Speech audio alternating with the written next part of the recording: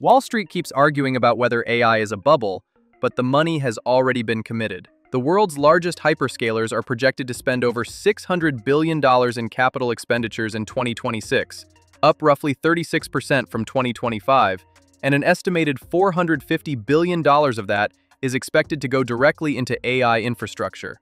Not apps, not software hype, infrastructure.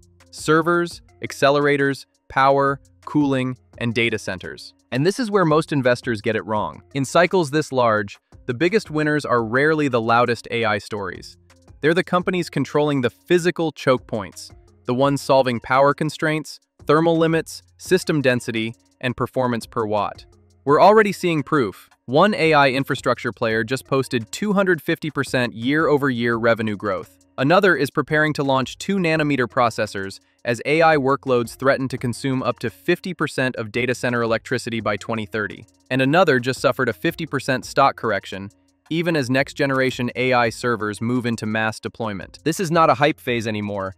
This is the industrialization phase of AI, where execution matters more than vision. In this video, I'm breaking down three stocks that sit exactly at the center of this shift.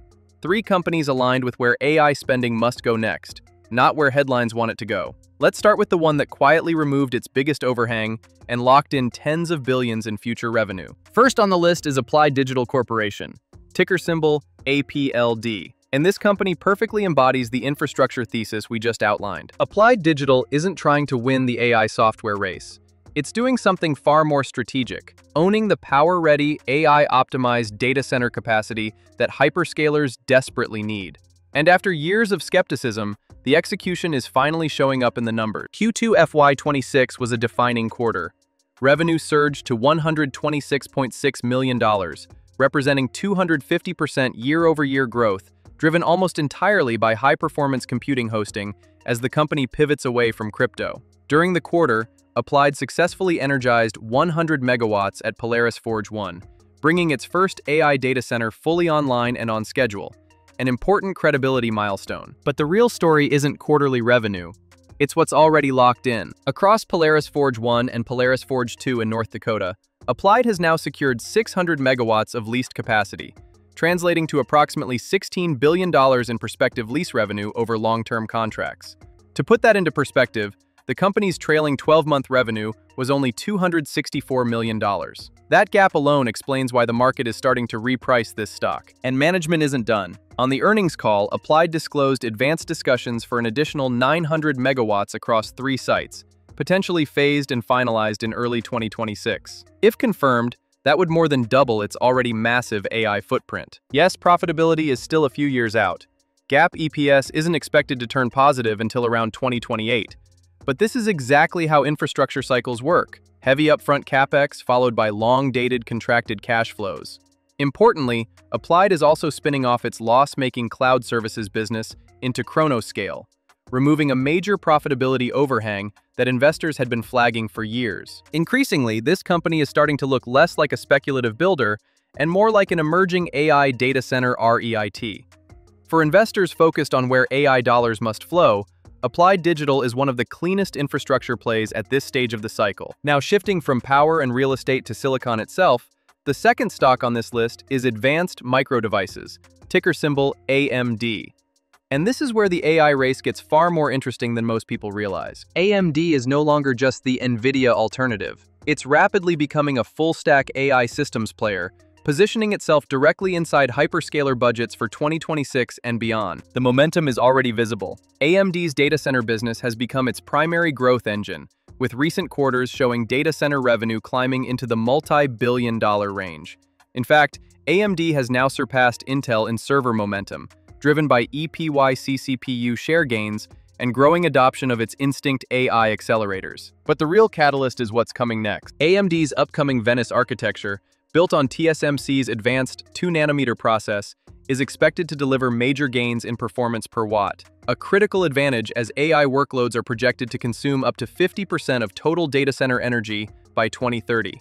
Power efficiency is becoming a budget constraint, not just a technical metric. At the same time, AMD is moving up the value chain. Through its Helios rack-scale platform, The company is bundling CPUs, GPUs, networking, and software into integrated AI systems. This allows AMD to capture margin that historically went to third-party integrators, while making deployments easier for hyperscalers operating at massive scale. The OpenAI partnership is a major validation here, not as a press headline, but as a multi-year demand signal. OpenAI is one of the most demanding AI compute customers on the planet, and AMD being selected tells us the Instinct roadmap is competitive with NVIDIA's Blackwell and Rubin architectures. Software was once AMD's Achilles heel. That gap is closing.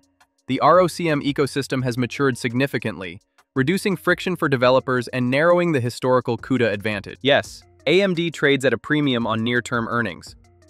But when you consider 40% plus growth rates, expanding margins, and a multi-year AI capex cycle that's still in early innings, the valuation looks less like excess and more like priced-in execution with upside optionality. Finally, we move to the execution layer, the company that physically turns all this silicon and power into working AI factories.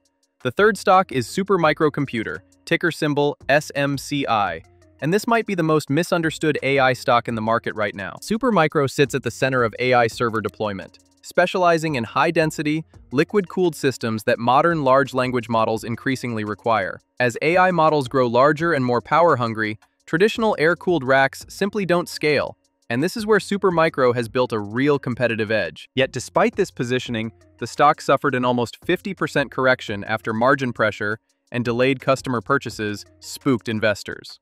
Revenue declined 15% year over year, and gross margins compressed to around 9.5%. On the surface, that looks ugly, but context matters. Much of this weakness was driven by product transition timing, not collapsing demand. Supermicro is now rolling out next-generation NVIDIA HG300 and Blackwell-class systems, which carry meaningfully higher margins. Management has also pointed to significant backlog tied to these platforms, suggesting revenue and profitability normalization in 2026. Here's what makes the setup compelling.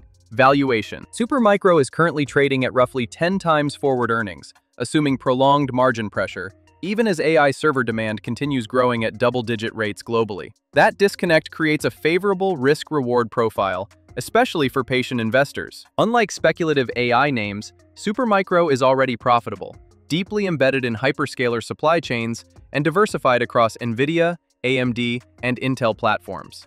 It doesn't need to win the AI chip war.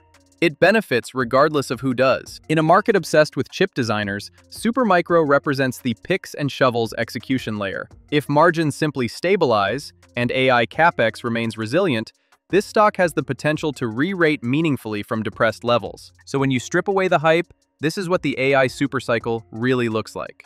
Power, silicon, and execution.